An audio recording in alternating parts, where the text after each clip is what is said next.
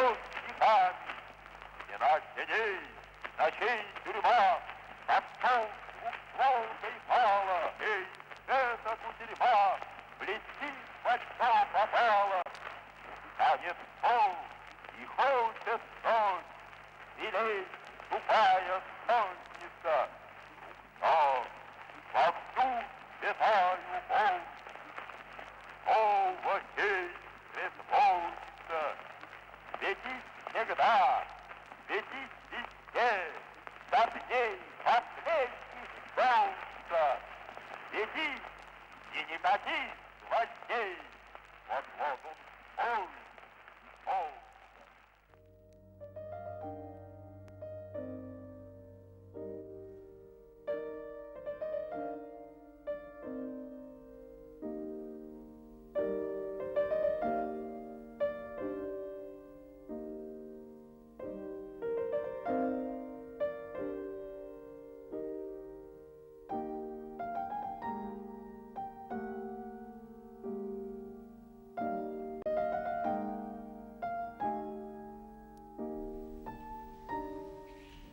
город может гордиться.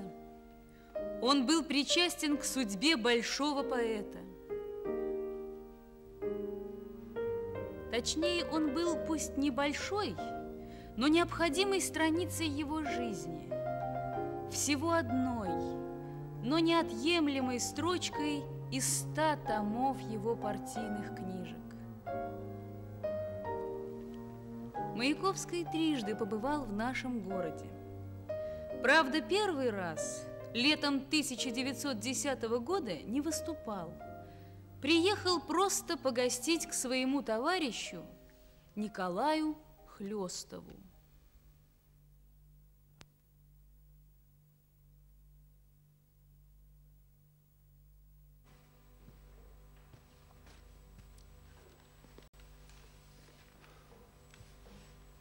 Летом 1910 года я пригласил Володю Маяковского к нам в Саратов.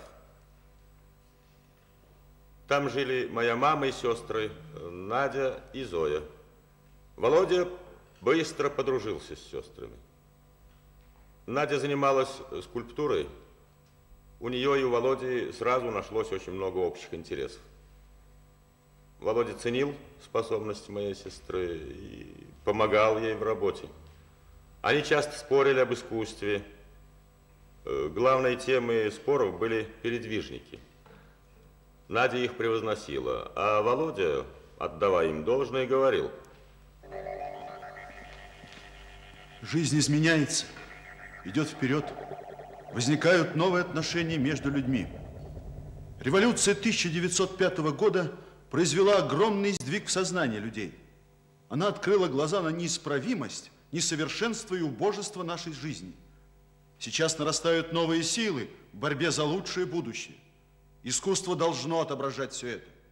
Нельзя писать о новом по-старому. Нужны новые формы выражения. Ну а что ваши передвижники? Они уже устарели.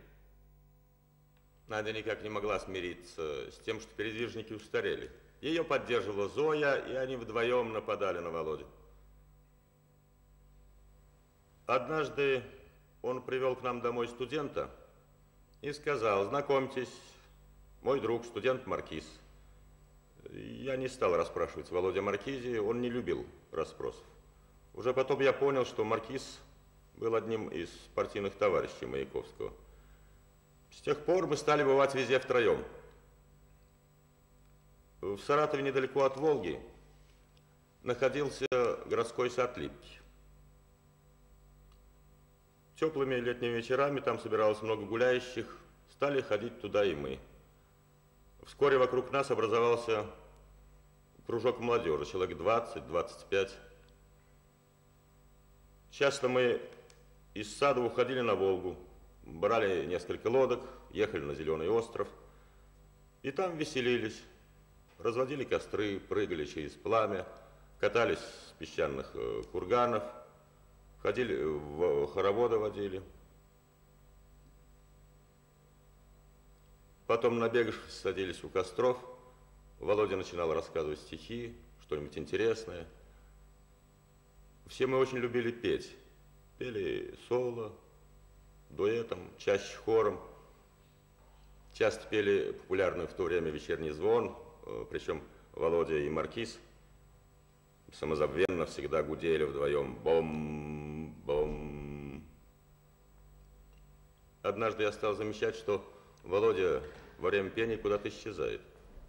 Я проследил за ним и нашел его лежащим на песке э, далеко от костров. Ты что тут делаешь? Молчи, ложись. Смотри и слушай, как здесь хорошо, ответил Володя.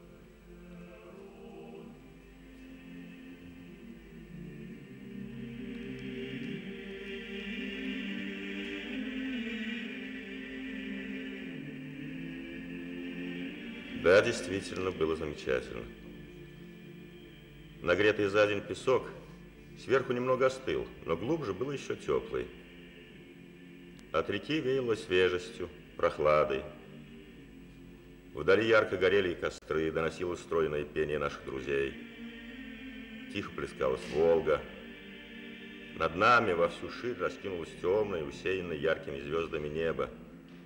Володя любил глядеть на звезды. Он хорошо знал астрономию, называл мне многие звезды, созвездия. Мы лежали и любовались ночным звездным небом, а наши товарищи как будто бы для нас пели нашу любимую. У зари, у зореньки много ясных звезд, а у темной ноченьки им и счету нет.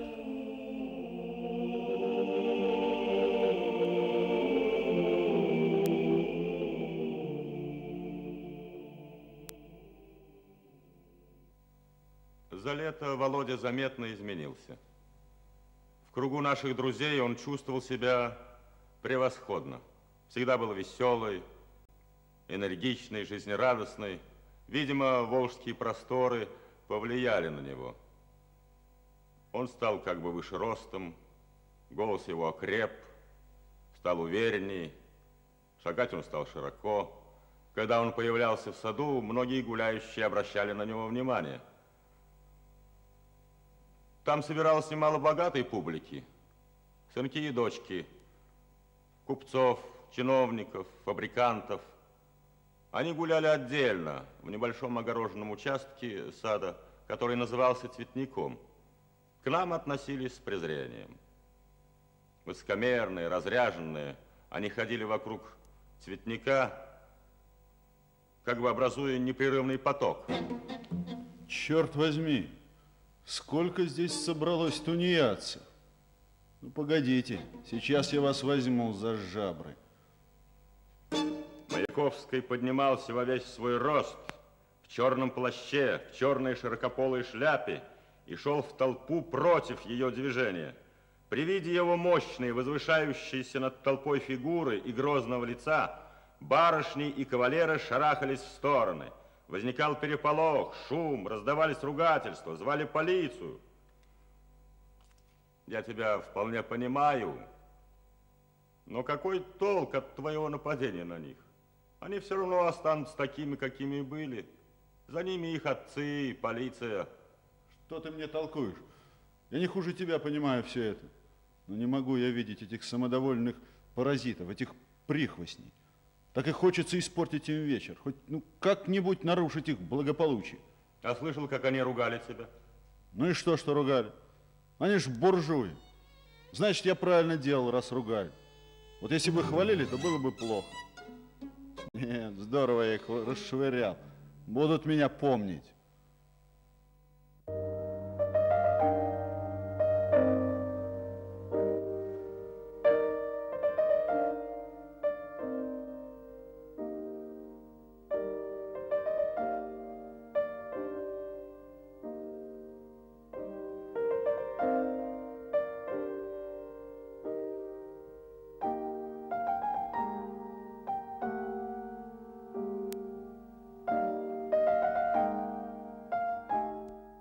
Первое выступление поэта в Саратове состоялось 19 марта 1914 года.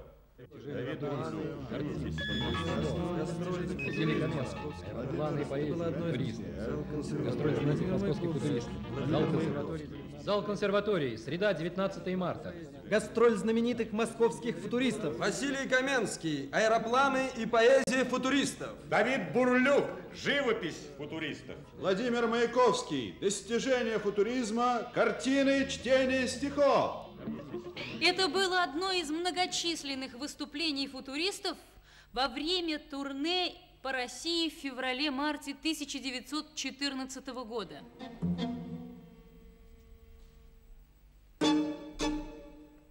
Саратовская публика к тому времени уже много слышала о футуристах и была разочарована в футуризме.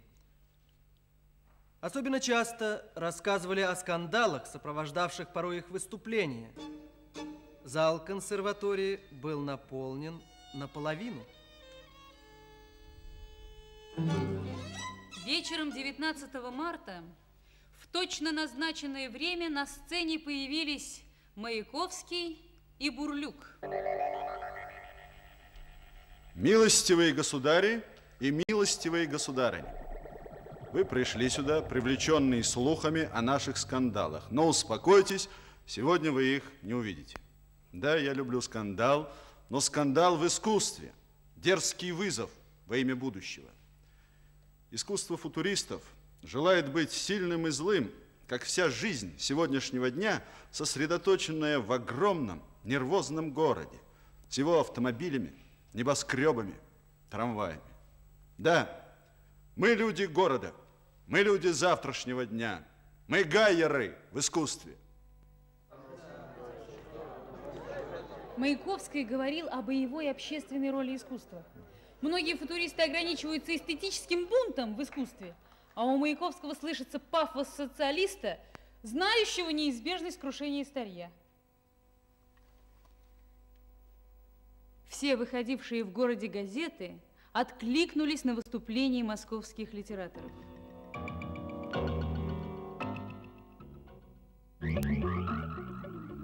Саратовская жизнь. Господин Маяковский и Бурлюк иллюстрировали свои положения своими стихотворениями. И замечательная вещь. Ни одного стихотворения не было чисто футуристического, а были стихотворения и недурные, совершенно символические в духе Шарля Бодлера. Саратовский листок. Что же можно возразить, когда говорят, что искусство не должно быть стоячим болотом? Что в нем все течет, все развивается, и, конечно, создаются все новые и новые ценности. Саратовский вестник. Речь господина Маяковского, сказанная с большим ораторским мастерством, красиво построенная, ясная и содержательная, произвела впечатление на слушателей, и они покрыли ее дружными и продолжительными аплодисментами. А вот еще Саратовский листок. Владимир Маяковский весьма развязанный молодой человек. Ему всего 20 лет. Типа современной тангизированной молодежи. Появляется на эстраде в розовом пиджачке с пестрым, торчащим из кармана платочком. Ну и что? В пиджачке. Это же совершенно ясно. Он надел внешнее платье футуриста только для дураков. Это один из его способов клеймить всяческую пошлость, которую он так ненавидит. Точно. А в костюме футуриста это сделать легче и доступнее. Точно, за этой внешностью большое ораторское мастерство, огромная сила убеждения. Таким он нам, саратовцам, и запомнился в тот раз. Горячим, молодым поэтом современности, поэтом страдающих и бунтующих окраин. Бунт низов изобразил Маяковский в революционной поэме «Облако в штанах». Мало кто знает, что название поэмы связано с саратовской поездкой 1914 года. В году 13-м, возвращаясь из Саратова в Москву, в целях доказательства одной вагонной спутницы своей лояльности, сказал ей, что я не мужчина, а облако в штанах. Сказав, я сразу сообразил, что это может пригодиться для стиха, а тут разойдется из устно или будет разбазарено зря. Страшно раздосадованный, я с полчаса допрашивал девушку наводящими вопросами и успокоился только тогда, когда убедился, что мои слова у нее уже вылетели из следующего уха.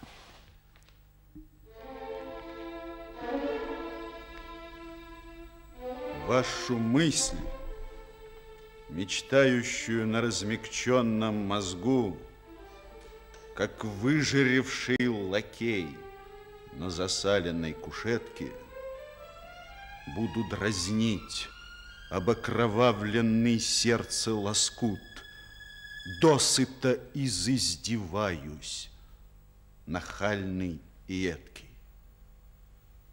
У меня в душе ни одного седого волоса и старческой нежности нет в ней. Мир огромив мощью голоса, Иду красивый, двадцати двухлетний. Нежные, вы любовь на скрипке ложите. Любовь на литавры ложит грубый, А себя, как я, вывернуть не можете, Чтобы были одни сплошные губы. Приходите учиться из гостиной батистовая чинная чиновница ангельской лиги, и которая губы спокойно перелистывает, как кухарка страницы поваренной книги. Хотите, буду от мяса бешеный, и как небо меняя тона, хотите, буду безукоризненно нежный, не мужчина, а облако в штанах.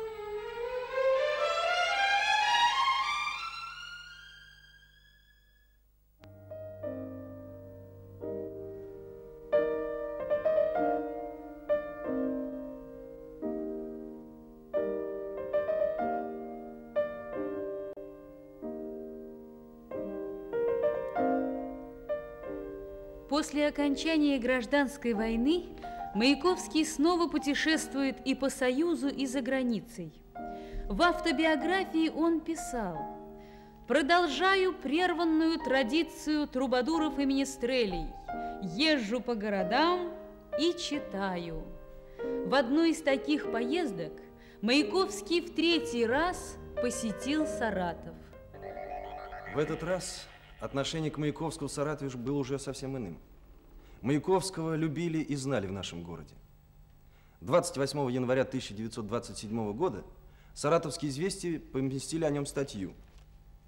Маяковский – один из крупнейших русских поэтов нашего времени. Своеобразный, как никто другой. Он отличный оратор, превосходный чтец, особенно своих произведений, и едкий, остроумный и находчивый полемист.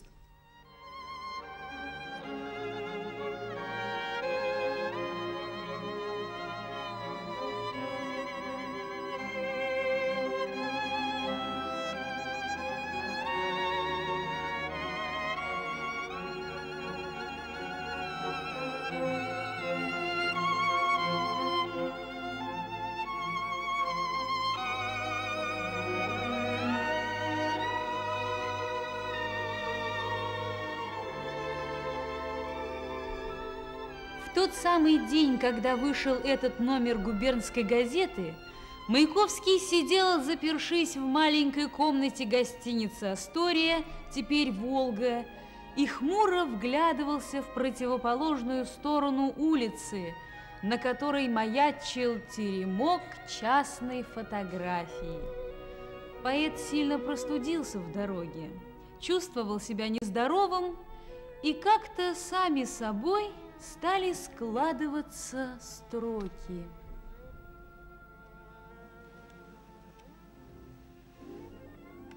Не то грипп, не то инфлюенция. Температура ниже рыб. Ноги тянет, руки ленятся, лежу. Единственное видеть мог – Напротив окошка, складки холстика, фотография теремок, Г. Мальков и М. Толстиков. Фабриканты оптимистов. Так называлось это родившееся в Саратове произведение. В нем Маяковский нацелил сатирический удар в аллилуйщиков, в мелких купчиков, старающихся скрыть свое собственническое лицо – под маской казенно-патриотического оптимизма. В комнату постучали. Распахнулась дверь, и несколько человек втиснулись в тесный номер гостиницы. Это пришли в гости к поэту местные литераторы. Мы решили отрядить Владимиру Владимировичу делегацию, ознакомить его с положением дел на литературном фронте в городе. Высокий, плечистый, ходил Маяковский по маленькому номеру гостиницы и внимательно слушал нашу делегацию – Маяковского беспокоила еще и мысль о том, знает ли его в Саратове, много ли народу придет на вечер. Мы заверили поэта, что в Саратове знает и ценит его.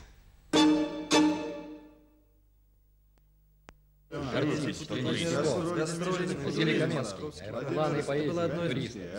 Гастроли московских футуристов. Зал консерватории 19 марта. Василий Каменский, аэропланы поэзии. Давид Бурлюк живет сообщал этот день. Зал консерватории 19 марта. Митинг московских туристов будет выступать Каменский.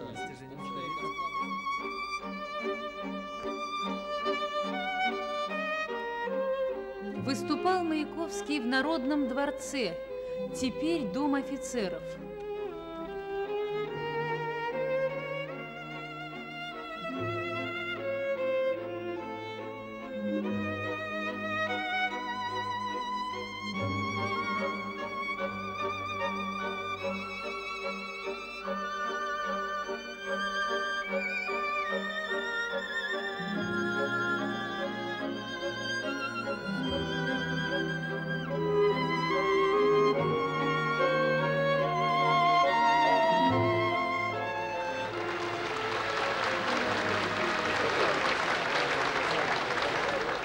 Выступаю с лекцией «Лицо левой литературы» как профессионал, как литератор, поэт Владимир Маяковский.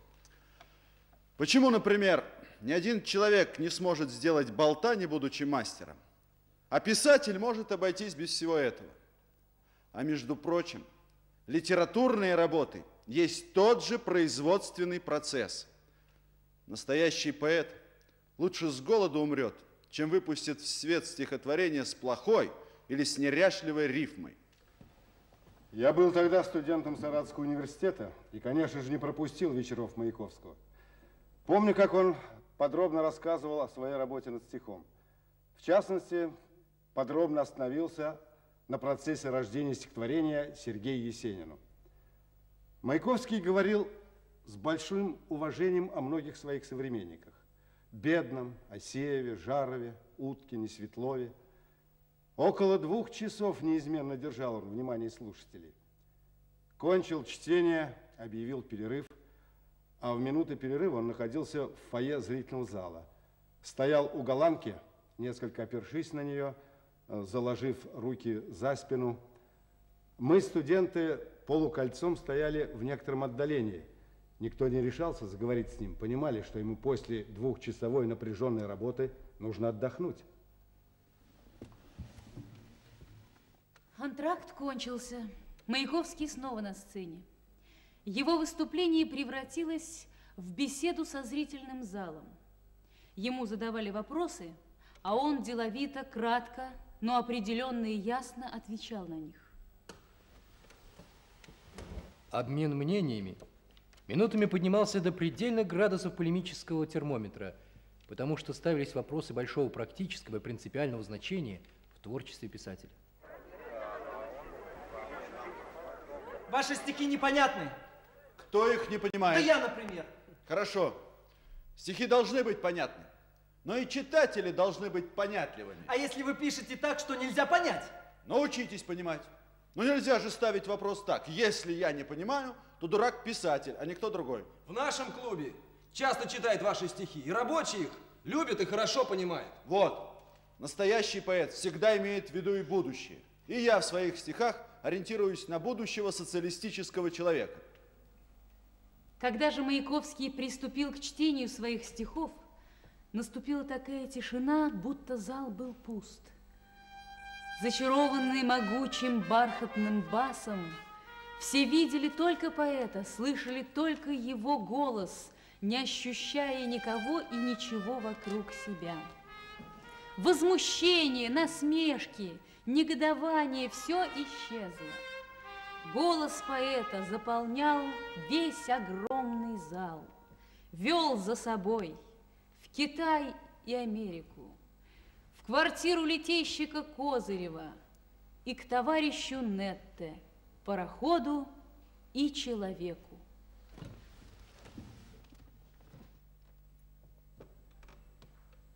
На следующий день, 30 января, Маяковский выступал вторично – в программе вечера стоял доклад под названием «Идем путешествовать».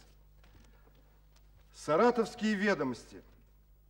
В оригинальной форме легкого остроумия, художественного филитона Маяковский рассказывает о проделанном им большом путешествии из Москвы через Западную Европу, Атлантический океан, в Америку и обратно в Москву. Повествует поэт об этом больше своими стихотворениями, созданными под впечатлением виденного и пережитого. Две главные темы пронизывали его доклад. Тема преступлений капитализма, колониальное рабство, нищета рабочего класса и тема советского патриотизма и пролетарского интернационализма. Английскому рабочему. Вокзал – оцепенел, онемевает док. Посты полиции заводчикам в угоду. От каждой буквы замиранье холодок, как в первый день семнадцатого года. Радио стальные шеи своротили, слушают, слушают, что из-за Ла-Манша сломят сдадут, предадут или красным флагом нам замашут. Слышу, слышу грузовозов храп, лязг оружия, цоканье шпор. Это вдок идут штрейкбрехера. Море в морду выплесни шторм. Слышу, плач промелькнул мельком. Нечего есть и нечего хлебать. Туман. К забастовщикам теки молоком. Камни, обратитесь в румяные хлеба. Смолкло радио. Забастовала высь, пусто, ни звука, тишь да гладь. Земля, не гони, земля, остановись, дай удержаться, дай устоять, чтобы выйти вам из соглашательской опеки, чтобы вам гореть, а не мерцать. Вам наш привет и наши копейки, наши руки и наши сердца. Нам чужды политиков шарады, большевикам не надо аллегорий. Ваша радость, наша радость, боль – это наша боль и горе. Мне бы сейчас да птичью должность. Я бы в Лондон целые пять, пять миллионов, простите за восторженность, взял бы, обнял и стал целовать. Маяковский выступал в сложной обстановке. В зале присутствовали его политические и литературные противники, которые пытались помешать сорвать вечер. Маяковский, а почему вы себя считаете пролетарским писателем? А разве я считаю? Вовсе нет. Я не отношусь к тем поэтам, которые только по мандату желают быть пролетарскими.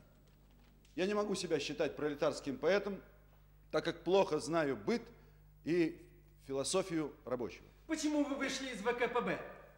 ВКПБ я никогда не был. Был я в РСДРП, фракции большевиков. Но был 14-летним мальчишкой, агитатором, пропагандистом, сидел в тюрьме.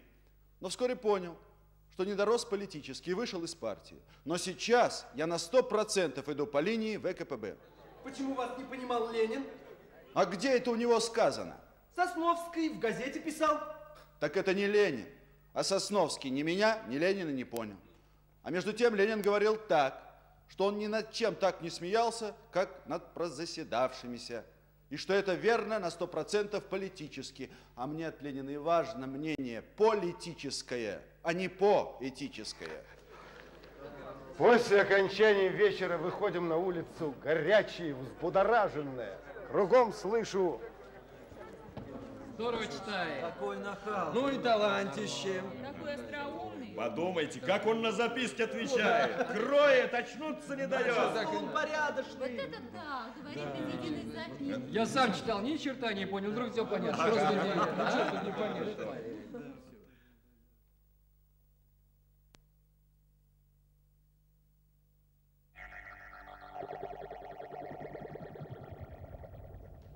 Газеты сохранили волнующие свидетельства о последних саратовских выступлениях Маяковского.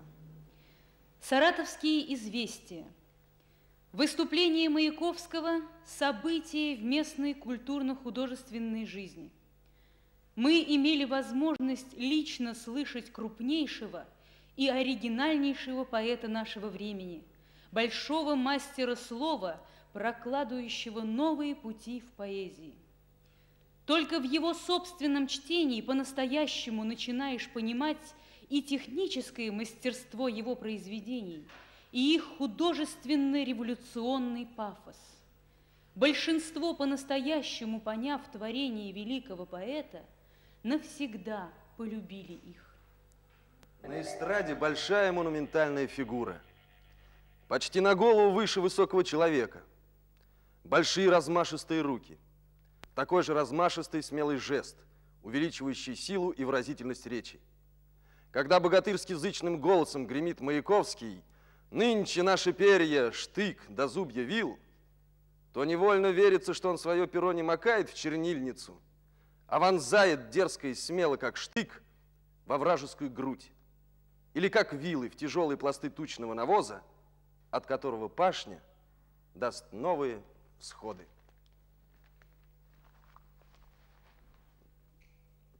В диком разгроме старые смыв, Новый разгромим по миру миф. Время ограду взломим ногами, Тысячу радуг в небе ногами.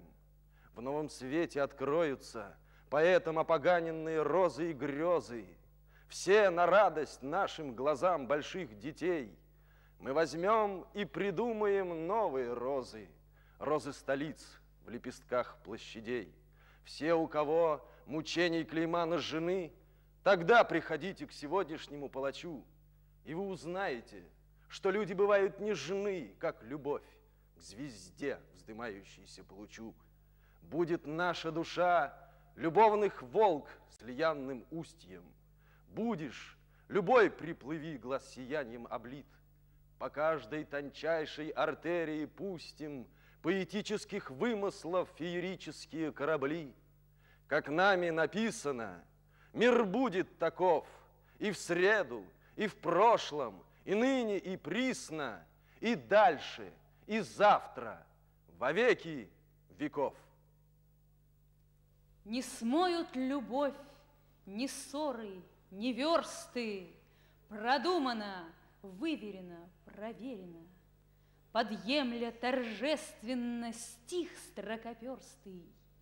Клянусь, люблю неизменно и верно. Пусть во что хотите ждание удлиняться, Вижу ясно, Ясно до галлюцинаций, до того, что кажется, вот только с этой рифмой развяжись и вбежишь по строчке в изумительную жизнь. Мне ли спрашивать, да это ли, да? Вижу ясно, ясно до деталей, Воздух в воздух, словно камень в камень, Недоступный для тленов и крошений, Рассиявшись, высится веками Мастерская человечих воскрешений. Вот он, большелобый, Тихий химик перед опытом наморщил лоб. Книга «Вся земля» выискивает имя, век двадцатый, воскресить кого? Маяковский вот, поищем ярче лица, недостаточно поэт красив. Крикну я вот с этой нынешней страницы, не листай страницы, воскреси, сердце мне вложи кровищу до последних жил, череп мысль вдолби. Я свое земное не дожил, на земле свое недолюбил. Был я сажень ростом, а на что мне сажень? Для таких работ годна и тля. Перышком скрипел я в комнатенку всажен, Вплющился очками в комнатный футляр.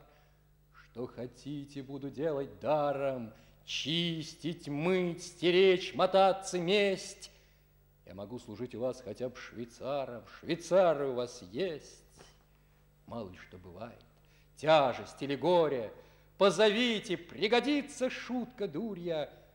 Я шарадами гипербол, аллегорией буду развлекать стихами Балагуря. Я любил, и стой старым рыться. Больно, пусть живут и болью дорожась. Я зверье еще люблю, у вас зверинцы есть. Возьмите к зверю сторожа. Я люблю зверье.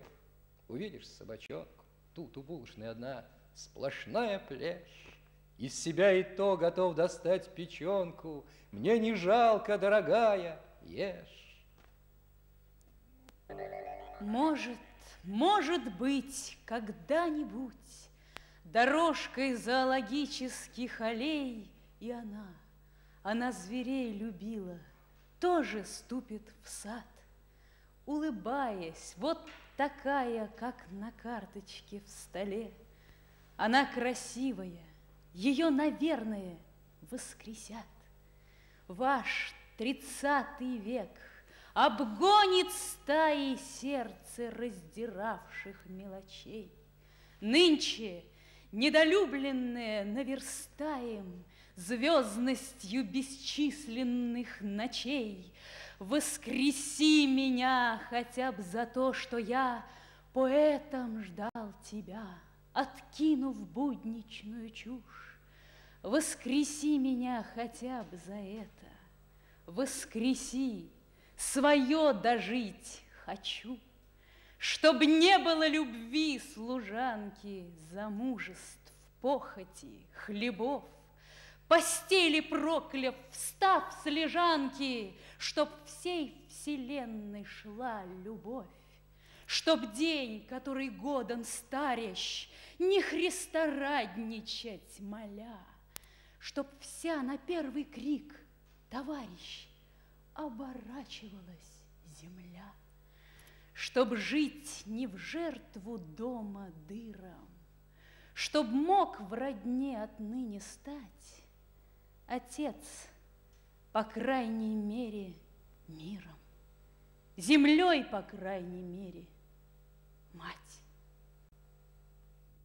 Стихи стоят свинцово тяжело, Готовы к смерти и к бессмертной славе. Поэмы замерли, к жерлу прижав жерло, Нацеленных зияющих заглавий. Оружие любимейшего рот, Готовое рвануться в гики, Застыла кавалерия острот, Поднявший рифм отточенные пики. И все, поверх зубов вооруженные войска, Где двадцать лет в победах пролетали, До самого последнего листка Я отдаю тебе, планеты, пролетарий.